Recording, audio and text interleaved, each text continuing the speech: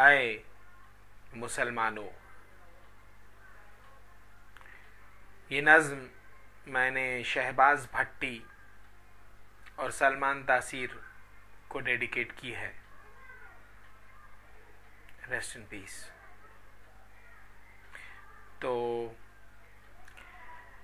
अय मुसलमानों, डरो उस अल्लाह के एताब से, जिसने तुम्हें एक अजीम नेमत से नवाजा था और तुमने उसे ठुकरा दिया। उसी तरह, जिस तरह एक और नाशुक्री उम्मत ने एक जमाना कबल अपने खुदा के इनायत करदा मनोसलवा की कदर न जानी। तुम भी उसी तरह अपने नुकसान की तरफ़ गामजन हो। अपने अल्लाह की अता करदा, नेमत, अपनी अक्ल की बेकदरी करते हुए। आए मुसलमानों, क्या तुम समझते हो कि तुम्हारी अक्ल, तुम्हारे अल्लाह ने तुम्हें सिर्फ़ इसलिए अता फरमाई थी कि तुम उसका इस्तेमाल न कर, इस्लाम के नाम पर किसी भी अपने से कम अक्ल इंसान के झांसे में आकर इस्लाम और मुसलमानों का नुकसान करो। अय मुसलमानों, क्या तुमको ख्याल है कि तुम्हारा फ़र्ज़ उम्मत मोहम्मदी से पहले उम्मत आदमी की तरफ़ है। क्या तुम ये भूल गए हो कि तुम्हारा रब रब्बुल आलमीन है? रब्बुल मुस्लिमीन नहीं। अय मुसलमानों, क्या तुम्हें ख्याल है कि नबी करीम सल्लल्लाहु अलैहि वसल्लम ने तुम्हारे फरीजों में इल्म हासिल करना शामिल कर रखा है। अय मुसलमानों, क्या तुम्हें कभी एहसास हुआ कि सिर्फ़ जज्बात की रौ में बह जाने वाला अपने दीन से करीब नहीं, दूर हो जाता है? अय मुसलमानों क्या तुम्हारे दानश्वरान कभी इस्लाम के नाम पर तुम्हें गुस्सा दिलाने वाले ढोंगियों के सामने सफ आरा हुए? क्या उन्होंने आरजो गेसू से हटकर तुम्हारी समाजी बुराइयों को कभी उजागर किया?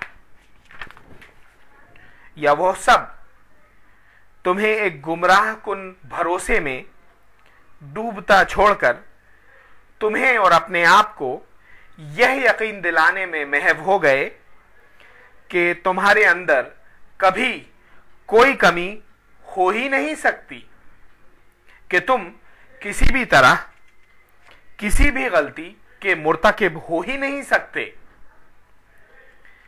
कि तुम्हें अपने आप को सुधारने की कहीं कोई ज़रूरत नहीं। अलावा कोहनियों तक हाथ धोने और टखने से ऊँचा पाजामा पहनने के। कहा है तुम्हारे दानेश्वर?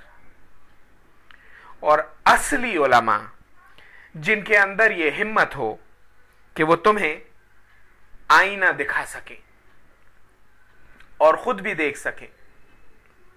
क्या वो और तुम ये समझे बैठे हो कि उम्मत मोहम्मदी की सिरात मुस्तकीम पर अजारादारी है?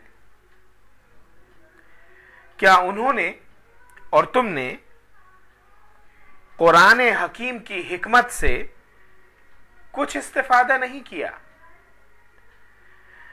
क्या उन्हें और तुम्हें कभी यह नहीं दिखा कि हर नबी की उम्मत ने अपनी अना और अपने ढोंगियों की सामरियत में अपने रब को भुलाकर हमेशा अपना ही नुकसान किया है। खुद अपने हाथ। तो फिर तुम अपने अल्लाह की दी हुई नेमत अपनी अकल का इस्तेमाल क्यों नहीं करते?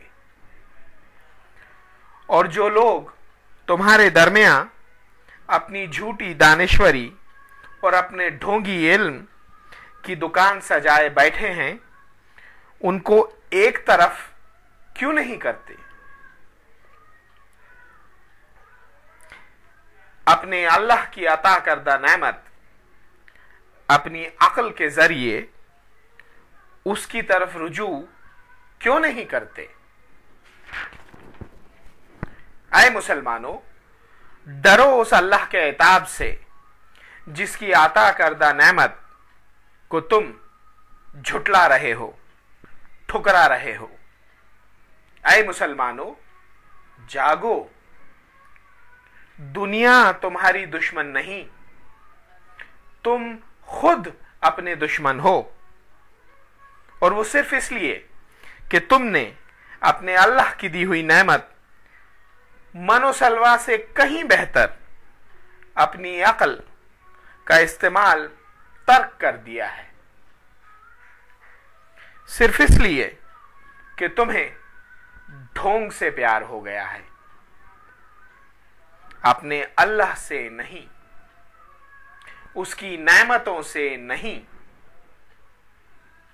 अरे मुसलमानों, अपने अल्लाह की दी हुई किन किन नेमतों को तुम ठुकराओगे? अरे मुसलमानों, अब भी वक्त है। अपने अल्लाह का शुक्र अदा करो। अपने रब के बनाए और इस ज़िंदगी में आता करदा सारे आलम के आशिक बनो। गुस्सा, तर्क करो। मोहब्बत इख्तियार करो। ढोंग और रसूमात के पीछे मत दौड़ो।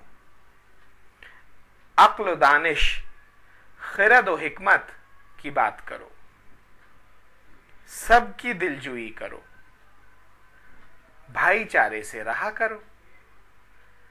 हाकिम बनने के ख्वाब छोड़ो।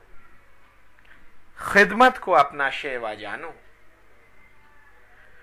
खुदी को बुलंद मत रखो।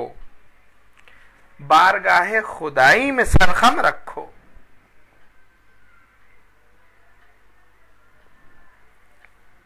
माजी के जोम में मत झूमो। इमरोज की कमियों को संवारो। ज़ोर बाजू का दम न भरो। सीना गुदाज चश्म नम रखो। अपने रब का शुक्र अदा करो। उसकी दी हुई नेमत, अपनी अक्ल को इस्तेमाल करो। अय मुसलमानों, वो फिर राज़ी होगा। वो फिर तुमको अज़ीज़ रखेगा। बस ना शुक्री छोड़ दो। ना शुक्री छोड़ दो।